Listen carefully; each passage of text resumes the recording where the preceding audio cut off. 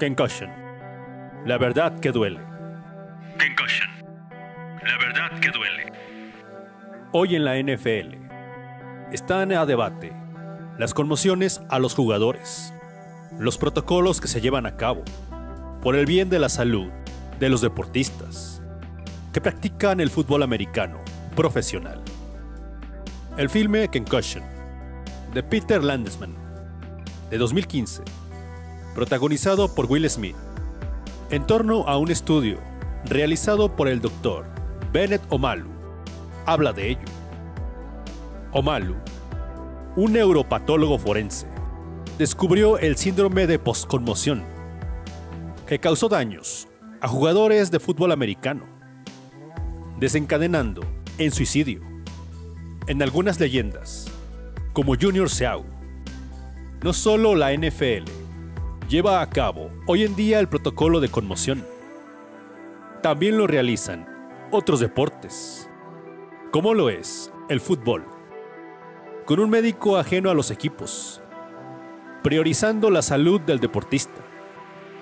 Un thriller dramático, basado en el artículo Game Brain de 2009, realizado por el mismo Bennett Omalu, el doctor que hablaba a los muertos, cuestionado por sus superiores, por los métodos que empleaba, el doctor que encontró síntomas que podían estar relacionados a las recientes muertes y suicidios, al estilo de vida de varios exjugadores de fútbol americano, considerados leyendas. Omalu se financió su investigación, jugando con fuego como le hace ver su superior, ya que en dicho país, después de Dios, el fútbol americano es sagrado, como lo hace ver la película. Síntomas comunes, dolores de cabeza, pérdida de la memoria, Alzheimer precoz, ira descontrolada, indicios de demencia, adicción a los fármacos. Omalu, en su tesis, achaca todo ello a los golpes a la cabeza, al contacto físico del deporte. El macronegocio de la NFL intentará silenciar dicha investigación, ya que perjudica intereses. Alegará que sus pruebas son insuficientes. Al final, la verdad prevalecerá. Un filme moral, donde un hombre, como el doctor, tendrá que enfrentar a todo un sistema una mafia llena de corrupción, en torno a un espectáculo. Will Smith, como el Dr. Omalu, entrega una de sus mejores actuaciones. Un filme lleno de reflexión, de crítica al deporte, por no cuidar la integridad en los atletas, de las enfermedades degenerativas, producto del contacto físico, una confrontación entre ciencia y negocio, el deber moral e intereses particulares. El poder económico contra la verdad científica. Una historia de superación de parte de Omalu frente a toda una estructura en su contra. Conocida como La verdad que duele. La película se presta para el lucimiento de Will Smith, un drama que es una odisea personal, buscando la integridad en sus principios.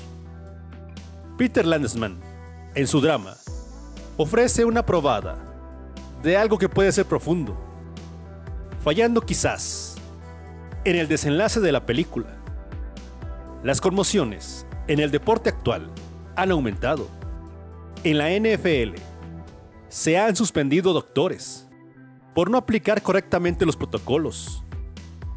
Exjugadores recomiendan a deportistas de la actualidad retirarse en caso de sufrir alguna. Como ocurrió con el coreback de los Miami Dolphins, Tua. Las conmociones cerebrales, debido a una actividad deportiva, se han vuelto un problema.